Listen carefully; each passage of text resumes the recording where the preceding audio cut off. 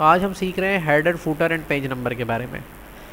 ये एक डॉक्यूमेंट है हमारे सामने खुला हुआ है और इस डॉक्यूमेंट में तकरीबन कितने पेजेस पर काम हुआ हुआ है, इसको जानने के लिए हमें पता चलता है कि हम यहाँ से बता रहे हैं कि इस टाइम आप पेज नंबर वन पर हैं और तकरीबन 19 पेजेस पर काम हुआ हुआ है। अब इनको अगर हम मल्टीपल पेजेस को एक साथ देखना चाहते हैं तो यहाँ से हम क्लिक करके मल्टीपल पेजेस पे क्लिक करेंगे और देखें, आप जितना जूम आउट करते जाएँगे, उतने ये सारे पेजेस आपको एक साथ दिखा देगा। लेकिन प्रॉब्लम ये होता है कि जब आप इन पेजेस को प्रिंट कर लेंगे तो प्रिंट करने के बाद आपको ये आइडिया नहीं हो पाएगा कि ये पेज नंबर कौन सा था, ये पेज नंबर कौन सा है और ये पेज नंबर कौन सा है। इस चीज़ के सोल्यूशन हमारे पास कुछ है जो एक कमांड है इंसर्ट में जाके जिसका नाम है पेज नंबर्स इसमें हमें उसका सोल्यूशन मिलता है और सोल्यूशन ये है कि आप सारे पेजेस को ऑर्डर कर दें। ऑर्डर में करने का मतलब है कि उनके ऊपर पेज नंबर अप्लाई कर दें। पेज नंबर अप्लाई करने के लिए आपके पास दो सेक्शन है। टॉप ऑफ़ द पेज और एक है bottom of the page top of the page और बॉटम ऑफ़ द पेज में भी आपके पास तीन सेक्शंस हैं। टॉप ऑफ़ द पेज में यानी कि लेफ़्ट साइड पर सेंटर में या राइट right साइड पर। बॉटम ऑफ़ द पेज में भी आपके पास तीन ऑप्शन है। यानी कि लेफ़्ट साइड पर सेंटर में या राइट right साइड पर। और इसके अलावा पेज नंबर की कई सारी फॉर्मेट हैं कि इस तरह से पेज नंबर नज़र आएगा। लेट सपोज़ मैं ये वाला फॉर्मेट चूज़ कर लेता हूँ बॉटम ऑफ़ द पेज में। जिसमें ये हर पेज के एंड में टोटल पेज नंबर भी दिखाएगा और करंट पेज नंबर भी दिखाएगा। इसको मैं थोड़ा सा जूम आउट जूम इन करके आपको दिखाता हूँ कि हर पेज के एंड में ये खुद ही इसको ऐड कर देगा।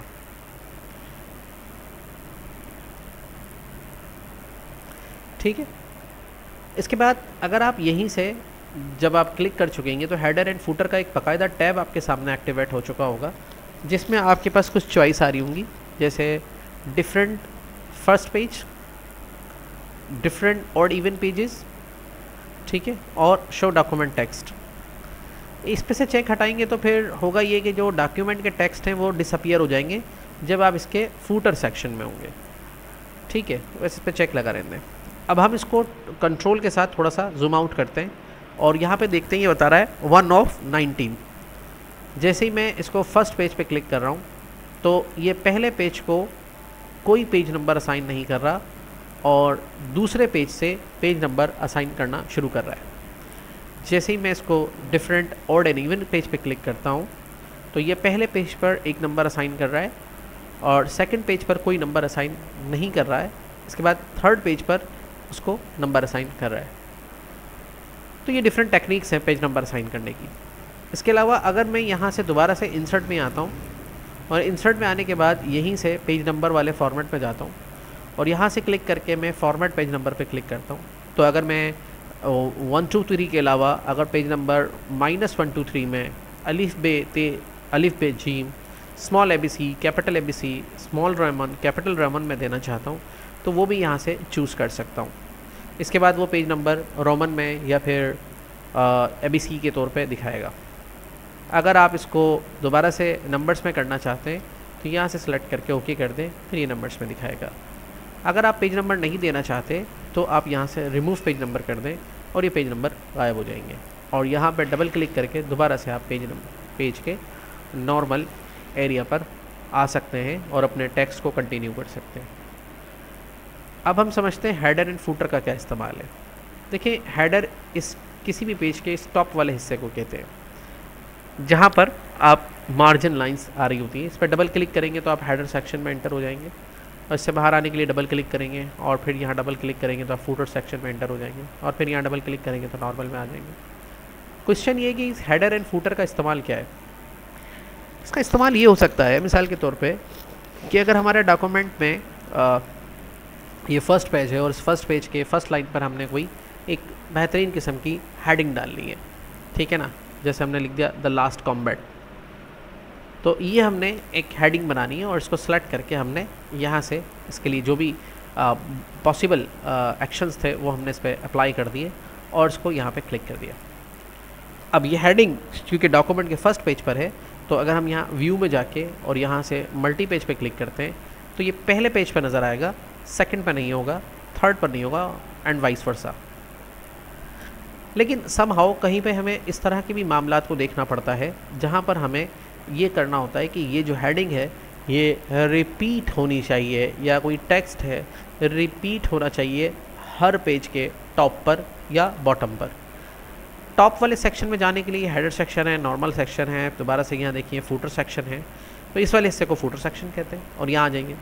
तो अगर उसको रिपीट करवाना है तो हेडिंग इधर लिखने के बजाय इसके हम हेडर सेक्शन में जाके जब आप यहाँ पढ़े हेडर सेक्शन लिखा हुआ है तो होम में जाके यहाँ पे टाइप कर दें या पेस्ट कर दें और यहाँ से बाहर आ जाएँ।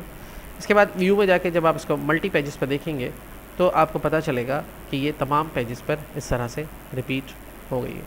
और फिर किसी भी पेज के हेडर पे जाके अगर उसमें थोड़ा सा चेंज कर भी देंगे आप तो आप देखेंगे कि उसमें वो चेंज तमाम के तमाम डॉक्यूमेंट्स में ऑटोमेटिकली हो जाएगा।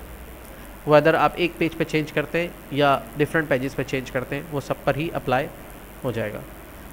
इवन दो कि अगर आप कोई शेप या लोगो भी लगाना चाहते हैं तो आप हेडर सेक्शन में जाके या फूटर सेक्शन में जाके इंसर्ट में जाके शेप्स पे क्लिक करेंगे और इसको वहाँ पे ड्रॉ कर देंगे। लेट सपोज़ अगर अभी हम इस हेडर एंड फूटर सेक्शन में किसी भी जाके और यहाँ से इसको ड्रॉ कर देते हैं तो ड्रॉ करने के बाद ये इधर नज़र आएगा और क्लिक करने पे ये इसमें इस तरह का मामला आ गया और इस पर क्लिक करके शेप में जाके एंड देन पिक्चर पे क्लिक करके एंड देन फिर हम यहाँ से ब्राउज़ करके अगर कोई हमारे पास इसका पार्टिकुलर स्पेसिफिक लोगो है तो वो हम इस पर भी अप्लाई कर सकते हैं। दैन इस पर क्लिक करेंगे यहाँ पे एंड देन क्लिक करने के बाद यहाँ से हम फिर ले लेते हैं डॉक्यूमेंट्स का ऑप्शन एंड देन फिर क्लिक करके यहाँ से चले जाते हैं लेटेस्ट के अंदर एंड देन फिर कोई अगर हमारे पास इमेज है इससे रिलेटेड जो इसके अंदर हम फिक्स करना चाह रहे हैं तो वो हम यहीं से चूज़ कर लेते हैं। लेट्स सपोज़ हमने ये चूज़ कर लिया एंड देन बाहर आ गए।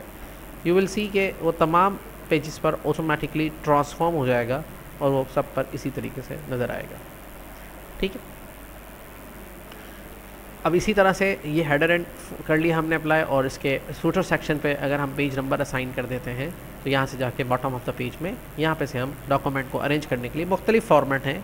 कोई भी एक पर्टिकुलर फॉर्मेट जो आपको सही लगता है इवन ये वाला फॉर्मेट है, ये आपको सही लगता है। और ये अप्लाई कर सकते हैं और यहाँ से क्लिक करके ये और भी फॉर्मेट्स हैं जो आप इस पर अप्लाई कर सकते हैं, जो चाहें आप अप्लाई कर लें। और जो भी करेंगे अप्लाई तो उसको हम जैसे कि ये वाला अप्लाई कर देते हैं। ये फूटर में अप्लाई हो गया। तमाम पेजेस ऑर्डर में आ चुके हैं और उन पे ये पेज नंबर भी असाइन हो गया है। अगर आप इसके साथ कुछ और टेक्स्ट भी ऐड करना चाह रहे हैं लेट सपोज़ आप यहाँ पे अपना बताना चाह रहे हैं कि कंपोज बाय आरशिद अली, मैं ये लिखना चाह रहा हूँ इसके ऊपर, और इसमें मैं बीच में कुछ गैप्स भी ऐड करना चाह रहा हूँ स्पेस की मदद से। तो ये चीज़ भी मैं कर सकता हूँ, और डायरेक्टली जो मैंने ऐड किया है, इस एडिशन को मैं फॉर्मेट भी कर सकता हूँ पर्टिकुलर कोई फॉर्मेट भी यहाँ से दे सकता हूँ, और देने के बाद मैं इसको अलाइन भी कर सकता हूँ लेफ़्ट राइट या राइट पर, जिस तरह से चाहता हूँ। और जब से बाहर आऊँगा तो तमाम पेजेस पे ऑटोमेटिकली रिपीट हो चुका होगा। अगर शाह मैं पेज नंबर जो देना चाहता हूँ, वो देना तो चाहता हूँ, लेकिन अपने मर्ज़ी के डिज़ाइन के अंदर देना चाहता हूँ और वो डिज़ाइन मैं हेडर या फूटर सेक्शन पे कहीं भी अप्लाई करना चाहता हूँ। जैसे मैं हेडर सेक्शन में ये पेज नंबर तो असाइन करना चाह रहा था, लेकिन मैं कुछ इस तरह के डिज़ाइन में असाइन करना चाह रहा था कि जो कि मुझे ऐसे दिखाई दे। तो मैंने इसको इस तरह से यहाँ पर ड्रॉ कर लिया और ड्रॉ करने के बाद ऐसे दिखाया। उसके बाद इसको थोड़ा सा साइज़ को भी सेट कर लिया कि ये कुछ इस तरह से नज़र आए। तो मैंने इसको क्लिक करके ये थोड़ा सा इस शेप में, मैं ले आया और इसके कोई एक पर्टिकुलर स्पेसिफिक मैंने कोई इसको शेप फॉर्मेट में जाके एक डिज़ाइन भी दे दिया कि ये कुछ इस तरह के डिज़ाइन में दिखाई दे। और देन फिर इस पर राइट बटन दबा के ऐड टेक्स्ट करके मैं कुछ टेक्स्ट भी लिख सकता हूँ। जैसा कि मैं लेआउट में यहाँ से जाके नो स्पेस कर लेता हूँ और थोड़ा सा फ्रंट साइज़ इंक्रीज कर लेता हूँ और फिर मैं इसके अंदर भी पेज नंबर असाइन कर सकता हूँ। लेकिन यहाँ पे ना आप टॉप ऑफ़ द पेज और बॉटम ऑफ़ द पेज का सेक्शन यूज़ करेंगे। यहाँ तीसरा वाला यूज़ करेंगे, जो है करंट पोजीशन और उसमें से जिस तरह का भी पेज नंबर का फॉर्मेट मैं चूज़ करना चाहूँ, उस पर क्लिक करके जैसे ओके करूँगा तो वो उसके अंदर आ जाएगा। एंड देन फिर मैं इससे बाहर आ जाऊँगा तो आप देखेंगे कि तमाम पेजेस पर ये ऑटोमेटिकली रिपीट भी हो जाएगा और उनके ऊपर भी पेज नंबर असाइन हो जाएँगे। सही है? तो इन द लास्ट ये कि header footer and page number ये तीन टॉपिक्स हैं। आपको काफ़ी किस्म के बने बनाए फॉर्मेट भी मिलेंगे हेडर के अंदर आप चूज़ करेंगे, ठीक है? इससे आप अपने पेज डॉक्यूमेंट के तमाम पेजेस का हेडर और डॉक्यूमेंट के तमाम पेजेस का फूटर सेम कर सकते हैं। किसी भी एक पेज पर अप्लाई करेंगे और तमाम पेजेस पे वो ट्रांसफॉर्म हो जाएगा। पेज नंबर्स की अगर बात की जाए तो आप अपने पेजेस को जो भी डॉक्यूमेंट में पेजेस आपने यूज़ किए हैं आ, उनको ऑर्डर में करने के लिए अरेंज करने के लिए इसका बखूबी इस्तेमाल कर सकते हैं ताकि प्रिंट निकालने के बाद आपको ये दुशारी ना हो कि ये पेज नंबर कौन सा था और ये पेज नंबर कौन सा है। इसके अलावा जब आप हेडर एंड फूटर सेक्शन में जाते हैं तो एक टैब भी एक्टिवेट हो रहा होता है जिसमें से आप हेडर एंड फूटर के साइज़ को भी रीडिफाइन कर सकते हैं। जैसे फूटर के डिफाइन में 0.49 इंच है तो मैं इसको कम करके और कम कर सकता हूँ और इसको नीचे की साइड ले सकता हूँ और बढ़ाना चाहूँ तो मैं इस तरह से बढ़ा भी सकता हूँ। चलें, इसकी एक एग्जांपल और बना के बता देता हूँ मैं आपको। लेट सपोज़ अगर आपका कोई डॉक्यूमेंट है और उसका कोई आपने लेटर हेड टाइप की कोई चीज़ क्रिएट करनी है तो उसको कैसे क्रिएट करेंगे? तो यहाँ पर हम क्या करते हैं कि एक न्यू फ़ाइल ले लेते हैं और क्लिक कर देते हैं यहाँ पर। अब मिसाल के तौर पर लेटर हेड या टाइप की इस तरह की चीज़ें जब हम बना रहे होते हैं तो उसमें हेडर सेक्शन को ज़्यादा यूज़ किया जा रहा होता है। मिसाल के तौर पर इंसर्ट में जाके हमने यहाँ से, पहले पहले बना लेते हैं। सपोज़ टू भी हमने यहाँ पे लिखा नहीं Umal Husaini. College of C computer science and information technology. ठीक है, ये लिख दिया और ये इसको बजाय हेडर बनाना है इसका। सिंपली मैंने इसको लिखने के बाद इसको यहाँ से सेलेक्ट किया और यहाँ से मैंने इसको होम में जाके कट कर दिया और यहाँ डबल क्लिक करके यहाँ पहले जाके इसको पेस्ट कर दिया। पेस्ट करने के बाद मैंने इसको जूम किया और उसको क्लिक करके टाइटल पे कन्वर्ट कर दिया एंड देन मैंने इन दोनों को सिलेक्ट करके सब टाइटल एम या इंटेंस पे कन्वर्ट कर दिया और ये वाला सही है फ्रंट साइज़ का थोड़ा सा बढ़ा दिया। इनके रिमेन बीच के गैप ख़त्म करने के लिए रिमूव स्पेस कर दिया लेआउट में जाके यहाँ भी सेट था और कोई फर्दर इसमें चीज़ करने की ज़रूरत नहीं थी लाइन स्पेस वन का कर दिया। वर्ड्स की कैरेक्टर्स की स्पेसिंग को बढ़ाने के लिए मैंने यहाँ से इसकी एक्सपेंड करके, उसके कैरेक्टर की स्पेसिंग को मैंने यहाँ से थ्री पॉइंट्स तक बढ़ा दिया ताकि ये थोड़ा आगे तक निकल आए। इसके फॉन्ट्स को ज़्यादा फर्दर हमने चेंज नहीं किया, इसको थोड़ा स्ट्राइक कर दिया और इसको इस तरह से कर दिया।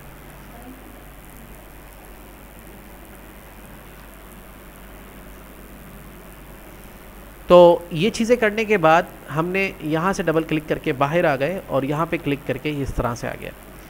अब हमने ये जो सेक्शन ऐड करा दिया तो इसमें हमने हेडर सेक्शन के लिए डबल क्लिक किया यहाँ पे।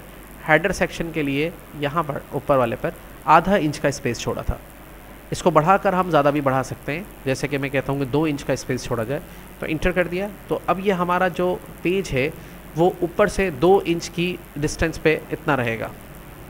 लेकिन मैं ये भी चाहता हूँ कि साथ साथ कि ये ऊपर भी नज़र आए तो मैं इसको इस तरह से ऊपर भी कर सकता हूँ और मेरा टेक्स्ट यहाँ पे रहेगा और जो मेरा पेज का हेडर सेक्शन है, उसको मैं यहाँ से अभी मैंने 0.3 पे रख लिया 0.4 पे रख लिया 0.5 पे रख लिया वन पर रख लिया, पूरा एक इंच के गैप पर रख लिया तो ये इस तरह से दिखाई देगा।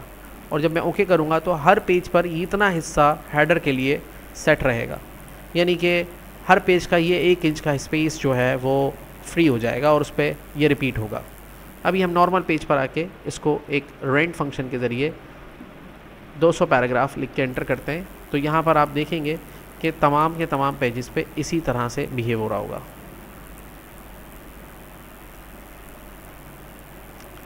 सही है?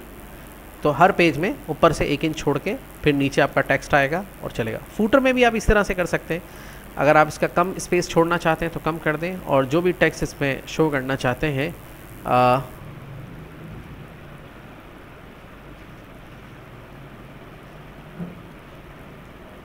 लिखने के बाद सेलेक्ट ऑल कर लिया मैंने जो भी टाइप किया इसको जूम कर लिया और यहाँ पे एक एरर है इसको सेट कर लेते हैं और इसको सेलेक्ट करके एक अच्छा सा स्टाइल दे देते हैं अप्लाई कर देते हैं सबटिल ए एम पर और इसको बोल्ड करके सेंटर कर देते हैं। इसके लिए हम इसको यहाँ पे सेट करना चाहते हैं। तमाम पेजेस के बॉटम सेक्शन पे ये अप्लाई होगा और आपका टेक्स्ट का इमेज यहाँ तक ही यूज़ कर सकेगा, जहाँ तक इसके आपने यूज़ किया है। और 0.1 से और कम कर लेंगे तो ये और कम हिस्से में भी यूज़ हो पाएगा। तो सुनाओ कि ये header and footer and page number आपके डॉक्यूमेंट्स को अरेंज करने के लिए और आपके डॉक्यूमेंट्स के हेडर एंड फुटर सेक्शन को रिमेन सेम रखने के लिए तमाम पेजेस पे इसलिए इस्तेमाल होते हैं। ठीक है?